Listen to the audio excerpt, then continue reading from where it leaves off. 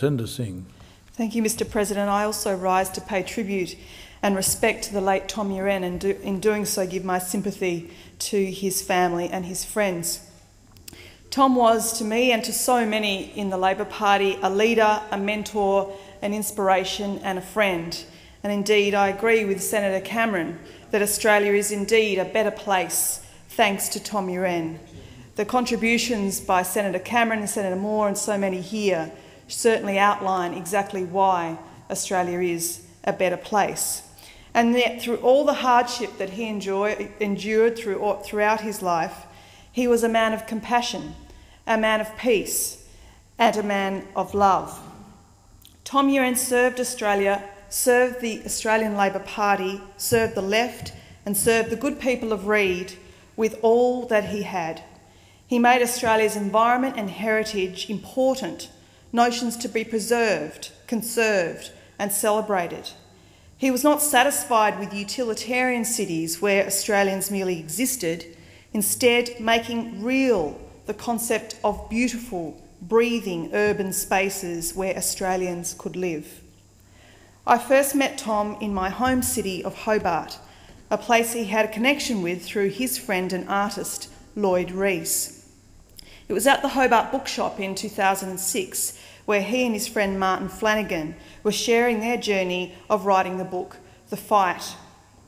I had a few moments with Tom, and after he signed my copy, to talk about his prisoner of war experience, his experience on the Thai Burma Railway, about his time as a Labor minister, and about the things that he loved in life. I felt such a warm feeling, so privileged to have just met this great giant of a human being, a true Australian legend, I thought, who had witnessed some of the worst of life, yet was full of peace and love and kindness. But still held such a strong fighting uh, instinct for fairness and for justice and the Labor cause. He certainly made an impact that day on my life that would continue for many years thereafter, just like he did on so many in the Labor Party. I remember one day when I was talking to him on the phone here in Parliament House I was seeking his wisdom and advice on a particular matter, and Tom, like always, simplified the solution down to values and what, as Labor people, we believe in. He said to me a quote Like a strong tree, I sometimes have to sway in the breeze, but I always keep my roots healthy among people. Tom was indeed a strong tree. He was an authentic Australian he knew what it took to survive the worst of life. The fit must tend the sick. The young must look after the elderly. The rich look after the poor, and carried that philosophy throughout his life. And yet, he knew how tough we must be to make the most of life.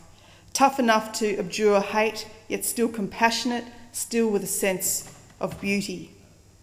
Tom's achievements of preserving things and places of great beauty lives on around us today. Last week at Tom's state funeral at the Sydney Town Hall, so many people came to pay tribute to this great man. Anthony Albanese, who emceed the service, gave a beautiful speech and summed up Tom when he said, You couldn't walk down the street alongside him without feeling the warmth that people had for him. People truly loved him. Tom was a generous man and a genuine man a people's man of people's principles. Tom was a man of passion for life, for people, for beauty in our environment, and for love. A fighter of peace, of social justice, a man who lived out his beliefs every day of his life. I join so many in the Labor Party and in Australia in saying, We will miss you, Tom.